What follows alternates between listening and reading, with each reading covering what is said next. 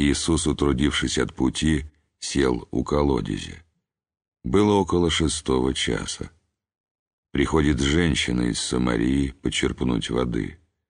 Иисус говорит ей, «Дай мне пить», ибо ученики его отлучились в город купить пищи. Женщина самарянская говорит ему, «Как ты, будучи иудей, просишь пить у меня, самарянки, ибо иудеи с самарянами не сообщаются».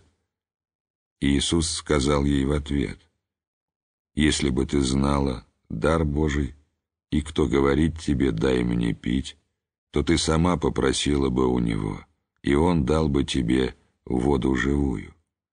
Женщина говорит ему, «Господин, тебе и почерпнуть нечем, а колодец глубок. Откуда же у тебя вода живая? Неужели ты больше отца нашего Иакова, который дал нам этот колодец, и сам из него пил, и дети его, и скот его. Иисус сказал ей в ответ, «Всякий пьющий воду сию вас жаждет опять, а кто будет пить воду, которую я дам ему, тот не будет жаждать вовек. Но вода, которую я дам ему, сделается в нем источником воды, текущей в жизнь вечную».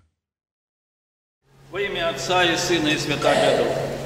С воскресным праздничным днем вас сердечно поздравляю, дорогие братья и сестры. Христос воскрес! Христос воскрес! Христос воскрес! Неделя пятая по Пасхе, и мы с вами говорили о том, что неделя четвертая, пятая, шестая по Пасхе мы будем вспоминать некоторые, видимо, очень важные события, когда Господь наш Иисус Христос был на нашей грешной земле, и настойчиво церковь нас постоянно э, обращает наше внимание на эти события. Вот если взять прошлое воскресенье, неделя четвертая, по Пасхе, о расслабленном, то там два весьма назидательных для нас, важных в деле нашего спасения, вот таких э, события произошли и слова, которые мы услышали от Господа нашего Иисуса Христа.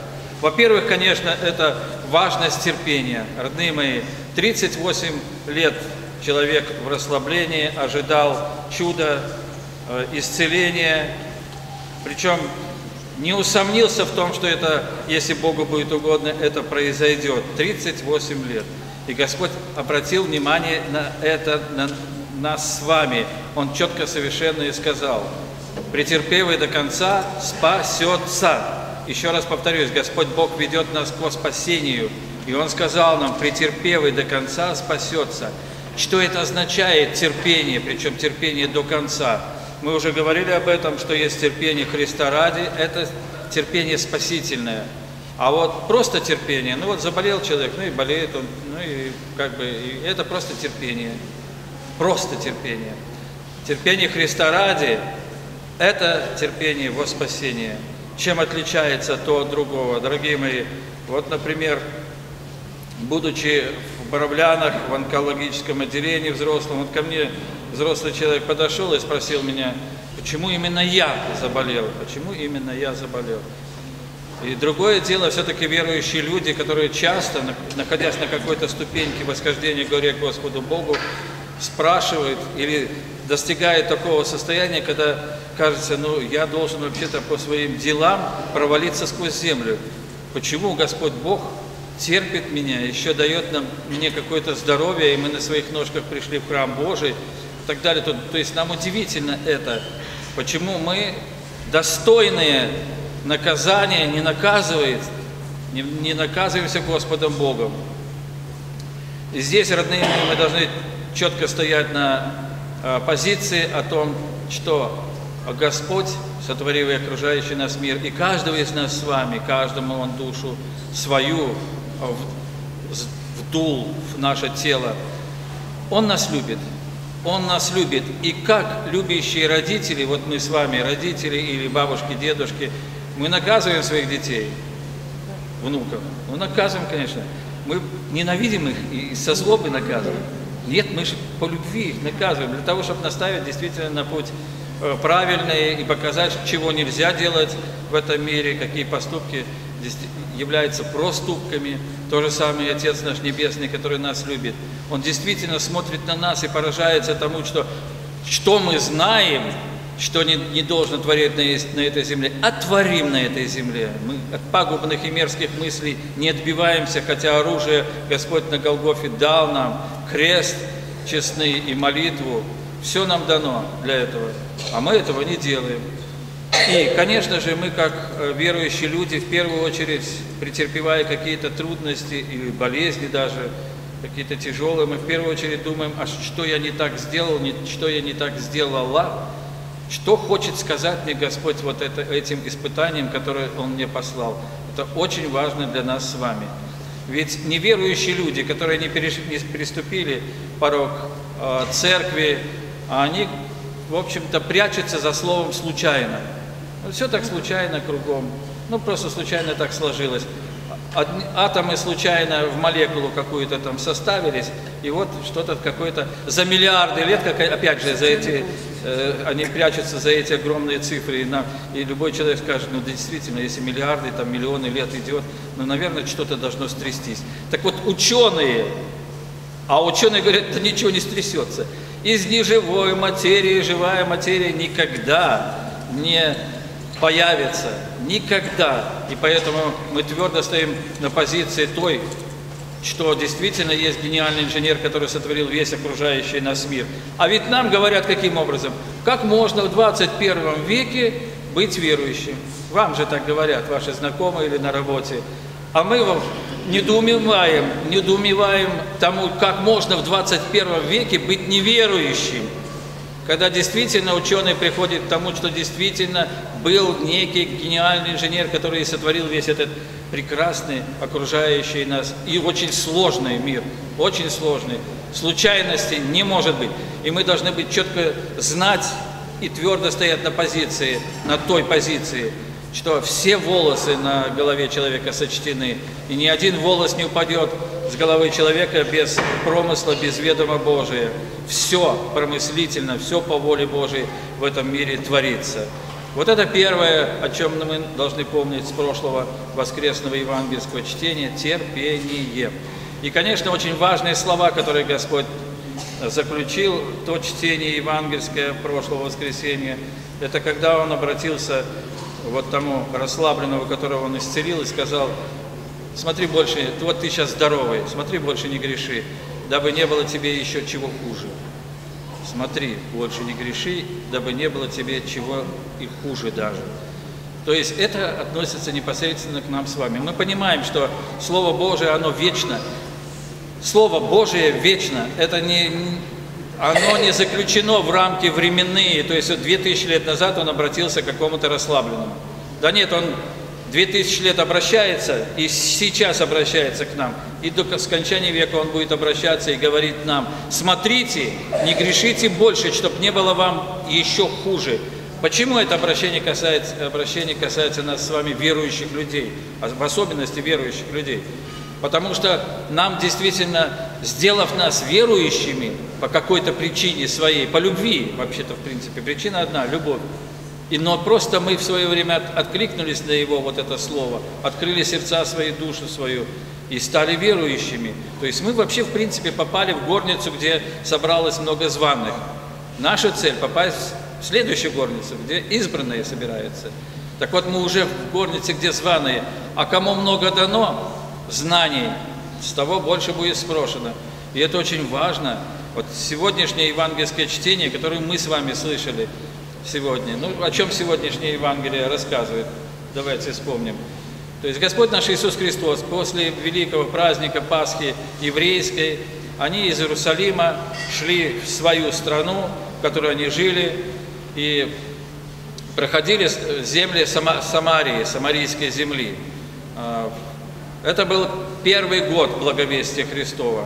Первый год благовестия Христова. Еще никаких особых чудес он не совершил, еще, а, и, ну, еще никому не говорил, ну, или так, воспринимали еще его как пророка, может быть, великого пророка, который наделен был какими-то удивительными а, от Бога дарами, когда мог и, и проповедовать и слово его было силой, люди уже начали, ну, ученики уже появились у него и слушали уже Господа иудеи. А тут самаряне, самаряне. Э, земля самарийская, напомню вам, это просто, вот эта местность была в свое время завоевана ассирийским царством. И как каждый захватчик старается как бы привязать захваченные земли навсегда к своей территории, так сделали ассирийцы тогда, то есть многие иудеи были, евреи были за, забраны в рабство, уведены для того, чтобы потом там, в Ассирии, ассимилироваться, как бы исчезнуть, раствориться в этом народе ассирийском. А сюда были, переселялись ассирийцы, тоже для той цели, что те, кто евреи остались, смешались вместе с ассирийцами, и вот э, какой-то новый народ появился. Так оно и получилось. Вот эти самаряне, это были как раз э, смесь евреев с ассирийцами. Самое удивительное, что ассирийцы, будучи такими жесткими язычниками, они восприняли все-таки веру местного населения. Они продолжали веровать или веровали э, в единого Бога Отца, который сотворил весь окружающий мир. Единственное, что они не все книги э, Моисеевы, как мы сейчас говорим, Ветхого Завета, признавали. Кроме того, они не ходили в Иерусалим кланяться в храме, а построили свой на, на горе Горизим храм, где поклонялись. У них были свои первосвященники, священники и так далее, и так далее, и так далее. И именно поэтому ненавидели их евреи. По какой причине? То есть они не были язычниками, а стали еретиками. То есть они с точки зрения иудеев, они исказили учение, исказили. То есть э, вот этот путь прямой, спасительный, они увели в какую-то сторону, а это шло к погибели. И именно поэтому мы сегодня слышали слова женщины Самари, Самарянской, э, которая говорила Иисусу Христу, когда он обратился с ней, к ней с просьбой дать ему попить, вы же с нами не общаетесь, мы же для вас еретики, как ты можешь просить у меня, у самарянки, а, этой воды. Ну вот сегодня, дорогие братья и сестры, здесь тоже несколько весьма поучительных для нас а, событий произошло. Во-первых, Господь наш Иисус Христос, как вы слышали сейчас в Евангелии, открыл самарянской женщине, что Он и есть тот Мессия, которого а, они ожидают. Ибо самаряне, так же, как и иудеи, ждали Мессию, он, она прямо ему сказала, да, мы знаем, что придет Христос, то есть помазанник Божий, который нас наставит на всякую истину. Они ожидали Мессию. Почему ей открыл Он? Почему не иудеи? Потому что Господь четко совершенно знал и понимал. Иудеи, родные мои, они уже в то время ждали Мессию, который нужен был им. Они уже в своем воображении или в предположениях построили себе уже образ этого Мессии, который должен был появиться. Потому что пророки говорили, что Мессия завоюет весь мир. Значит, кого они ожидали? Как мы часто говорим, царя, воина, какого-то воеводу и так далее, который завоюет весь мир. Вот кто им нужен. А тут пришел от Бога Мессия, кроткий и смиренный сердцем. Кроткий и смиренным сердцем. Как мы сегодня из Евангелия слышали, самаряне восприняли его, потому что они не ожидали воина или царя, они ожидали Мессию, которого Бог пошлет им. А каков будет этот Мессия, это уже дело Божие. И именно поэтому Господь и открылся самарянке. Но смотрите, она сразу же восприняла его как Мессию. Она же побежала, водоносы бросила свои и пошла в город и стала говорить, идите посмотрите. Этот человек, который узнал тайные, сокровенные, мою жизнь сокровенную, которую никто не знал, кроме меня. Другой момент, а почему самарянка действительно э, восприняла Иисуса из Назарета как Мессию? Ну, во-первых, родные мои, она призналась в том, что она действительно грешила. И этот человек, который ей не муж, а просто сожитель сегодняшний, родные мои, это, это уже начало покаяния. То есть это соверш... когда человек признает, что он совершает грех, это уже начало спасительного пути. Возьмите разбойника на Голгофе. Разбойник на Голгофе, сначала же он также издевался над Господом Иисусом Христом, как и его собрат, который с левой стороны от Господа был распят. А что потом случилось? Вдруг дошло до него, и он говорит, что перестань ругать его, мы с тобой заслужили этой казни. Видите, оценка своей жизни предыдущей была. Мы заслужили. То есть пошла, совершенно преобразился он потому, что началось пока, вот этот вот процесс покаянный, изменение внутреннего состояния человека мы заслужили, а он-то без греха, за, за что он мучается. Помяни меня, Господи, во Царстве Своем. Также и сегодняшняя самарянка, она побежала, сказала людям, идите посмотрите. Но у меня впечатление, что это Мессия. Они прибежали, посмотрели, и, как мы с вами знаем, поняли тоже их вот эти незамутненные сердца, чистые сердца, которые ждали Мессию от Бога, а не воображаемого, которого ждали э, иудеи, и по какой причине этот Мессия, который от Бога пришел, им не нужен был. Они его убили. И они и сегодня ждут этого Мессию. Они ждут царя, они его ждут. Придет он? Придет, придет. Только он придет вместо Христа. Имя ему Антихрист. Он придет, он действительно будет царем, который завоюет весь мир, и все будут радоваться, а он Иерусалимский храм, храм Соломонов, восстановит и так далее. Придет он, дождутся. А вот самаряне, как прообраз тех э, иных народов, которых и мы с вами, э, в общем-то, представляем, э, и это важно, примут Христа, Спасителя, даже не видя Его. Вспомним апостола Фому, да? Фома, ты уверовал, потому что ты меня видишь, и раны мои ты видишь, и ты можешь вложить персты свои в мои раны. А блаженны те, которые станут верующими, не видя меня. Это про нас с вами и говорится. То есть Господь коснулся наших сердец когда-то, и мы открыли эти сердца наши, и у нас заработал наш духовный организм. Родные мои, дальше же интересная беседа пошла.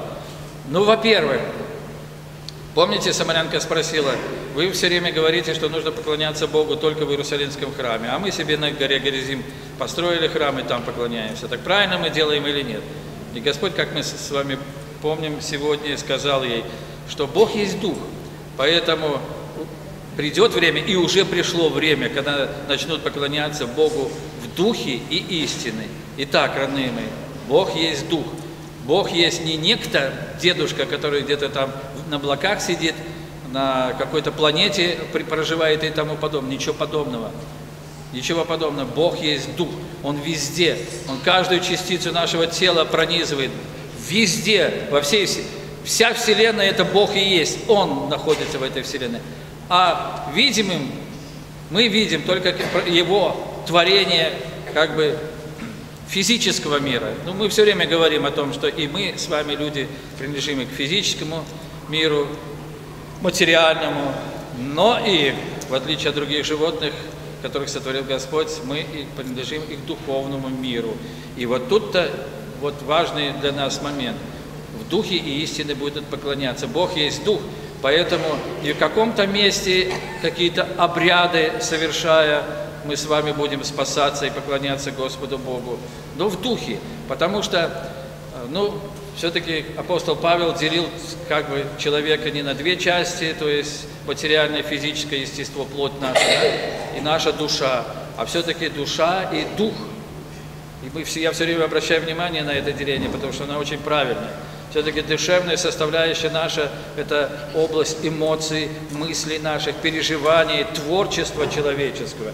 Это то, что а, как бы в нашей душе тот участок нашей души, который участвует в нашей земной жизни. А вот дух. Душевный человек мы знаем, кто такой, а духовное лицо. И тотчас же мы с вами скажем, духовное лицо – это верующий человек, это тот, кто обращается к Богу. Да, эта часть, к сожалению, у многих людей она мертвая, так Господь прямо говорил. Она не живая, для того, чтобы она ожила, нужно, нужно предпринять меры, услышать глаз Божий, открыть сердце свое, и тогда Он входит в нас, и тогда оживает наши очи духовные. Этим мы отличаемся от людей неверующих. Этим каждый, кто здесь стоит, и отличается от людей неверующих именно тем, что у нас и совесть наша заработала, а это глаз Божий в каждом человеке, и душа наша ожила. И Господь сегодня говорил об этом я сейчас еще вернусь к этим словам, что мы будем поклоняться в духе, Потому что вот мы с вами знаем, Господь нам говорил о том, что Царствие Небесное внутри нас есть. Помним это? Опять же, не на небесах где-то, не, в какой, не на какой-то Сириусе, на какой-то планете. Вот здесь, внутри нас Царствие Небесное. Поэтому борьба идет за душу каждого человека. Вот тут у нас, внутри, а не где-то там, за облаками. И стать частью Царствия Небесного каждый из нас может, каждый из нас. Ибо Господь и сотворил нас частью этого Небесного Царствия. Он нас сотворил частью Небесного Царствия где нет болезней, ни печали, ни воздыханий. Просто мы все испортили. Мы себя вытолкнули из Царства Небесного своими поступками, нарушив заповеди Божии. Так вот, действительно, а, поклоняясь Богу в духе своем, Господь сказал и истине. Истина, очень важно, родные мои. Вот сейчас только что недавно встречался с человеком, он занимается эзотерикой и там всякими этими восточными там религиями, воззрениями, теософией, всякими такими вещами. И сам мне говорит, что, вот я разговаривал с одним священником, он сказал, что вы попытаетесь в духовную жизнь зайти с черного хода. Родные мои, правильно, это, это батюшка правильно ему сказал, я бы подтвердил это, действительно. Ты лезешь с черного входа. Но там, почему вход называется черным? Там темно. Там темно, там нет света. А в духовном мире много разных сущностей, и страшных, в том числе огромное, кишит ими. Так вот, когда вы влазите с другой стороны, не в истине поклоняетесь, а какими-то своими воззрениями, представлениями или заблуждениями, идя за слепыми вождями, которые эти заблуждения внедрили с помощью дьявола, конечно же, мы понимаем, в этом мире. И идут люди в погибель широким и легким путем. А у нас путь очень тяжелый, родные мои. Блюдите, Господь сказал, ибо опасно ходите, как по лезвию бритвы идем. Он узок этот, путь наш к спасению. И лукавый так и норовит наш спить, чтобы мы упали на этот широкий и легкий путь, который вот туда ведет, совсем друг, вниз ведет, в черное место. Поэтому в истине поклоняться, это значит быть в Его церкви Христ, в Его церкви, которую Господь на этой земле и сотворил. Для чего? чтобы хранить эту истину, и чтобы мы не заблудились с вами и не погибли, а эту истину разъяснять нам с вами. Именно поэтому мы уверенно с вами говорим, мы принадлежим церкви той, которую Христос на этой земле основал. Значит, она является столпом и утверждением этой истины. И вот когда мы будем действительно в духе истины поклоняться, это действительно поклонение Его спасения. Каким образом сделать так, чтобы начать действительно Господа э, слышать, чтобы очи наши духовные Его видели. Что нужно делать? А Господь сказал сегодня этой женщине, ты, я прошу тебя простой воды, и ты сейчас напьешься и, и опять захочешь пить. Конечно же, вот жаждешь. И это правильно. И даже если касаться э, душевной жизни людей в миру, не духовной, а душевной жизни людей в миру, то дьявол подсунул людям цели, например, обогащение. Скажите, если человек, вот он мечтал какой-то миллион, какой-то, каких денег, каких, каких хотите, долларов там, рублей, какие хотите. Вот он мечтал, он его э, получил каким-то образом, этот миллион. Он насытился, ему больше пить не, не, не захочется? Наоборот, еще, еще больше. Правильно, еще больше. Поэтому вот это э, душевные такие цели, которые люди ставят себе, они не насыщают. Он еще больше будет хотеть, жаждать это, наживы, там, я не знаю, карьеры, чего хотите. Господь говорил совсем о другом ей, о живой воде, которая, если ты ее выпьешь, эту живую воду, то это будет источник во спасение тебе, который будет вести тебя действительно в Царствие Небесное Господу Богу. Что за живая вода? Опять же, это Слово Божие. Дорогие братья и сестры, это Слово Божие. Господь сюда пришел в этот мир, и э, Он подвиг на Голгофе совершил нас ради человека нашего, ради спасения. Но принес эту благую весть, спасительную весть, Он принес эту живую воду. О, эта живая вода изливается на любого человека. Вот Священное Писание, открой, и эта вода польется тебе, в тебя внутрь. Меняется человек, который, ну что, разве мы сами не можем свидетельствовать, когда мы начинаем читать Евангелие, Мы же начинаем, мы как бы уходим в совсем другой мир. Из этого мира, в котором мы живем, мы работаем, мы учимся и должны это делать, но мы уходим в совсем другой мир. Именно поэтому нудным образом церковь постоянно говорит одно и то же. Одну-две главы ежего, еж... каждый день мы должны читать. Как она, церковь, нам надоела. Одно и то же. Говорит, говорит, говорит, говорит. Времени ж нету на это. Не, родные мои, я как вспоминаю свою тетю рижскую или бабушку, то у них красный угол был, и стояла аналой такой вот, как у нас стоит, вот такой, да, и там раскрытое Евангелие. То есть собирались все, и там они, ну, было время, они перед ужином, например, вся семья, когда собиралась, там открытое Евангелие. Они читали эти две главы, все пере... странички перевернули, все. Это так просто оказывается. И как это сложно, потому что времени-то нету, и мы уже 655 раз читали это, и что, опять читать и так далее. Нет, это живая вода, и она изливается на нас, она действительно делает нашу душу живой. И когда мы сегодня с вами слышали, дорогие братья и сестры, когда пришли ученики Христовы и принесли кушать Ему, ибо они удалились от Господа, чтобы питание купить, закупить. Они предложили Господу, а что Он сказал? Да у меня есть уже пища, но совсем иная, не такая, как у вас. Какая пища? А, пи, а пища моя – это сотворить волю того, кто послал меня. Сотворить волю того, кто послал меня. И исполнить а, его дела. Вот как Господь сказал, то есть сотворить волю и исполнить дела. Это тоже нас касается, вот эти слова, потому что Господь говорит о совсем другой пище, о духовной пище. Пища, которая нужна нашей душе, это что? А в первую очередь, конечно, это молитва. Я говорил о живой воде, это Слово Божие, которое оживляет, да, орошает нашу душу. А пищей является молитва. Это связь с Богом. Молитва – это связь с Богом. Если мы хотим быть Божией, если действительно мы хотим спастись, то как же мы опускаем молитвы? И, наверное, многие из вас, родные мои, только что, пройдя время Великого Поста, вообще мы ощутили во время Великого Поста себя по-настоящему христианами. Когда мы не, опускали правила свое, постоянно молились, когда мы Священное Писание читали, когда мы часто были в храме, когда мы действительно о Господе Боге помнили, потому что и пост соблюдали строго, все делали. Как было хорошо, мы были Божьи. Пасха прошла, и пошел откат наш. Пошел наш откат, мы опять становимся теплохладными. Родные мои, только что мы с вами были в числе избранных. Вот только что Несколько недель назад мы были в числе избранных уже в этой горнице, где были избранные. И потихонечку, охлаждаясь, вот это как бы горение свое в вере, мы откатываемся назад и уже в горнице, где только званые. Ну а худший вариант, когда человек вообще остывает и вообще уходит из церкви. И, родные мои, мы должны это помнить обязательно.